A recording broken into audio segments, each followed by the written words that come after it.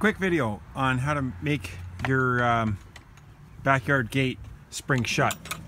So you just go like that and boom. So I just bought, went to uh, my local hardware store, bought a big spring, got a big hook.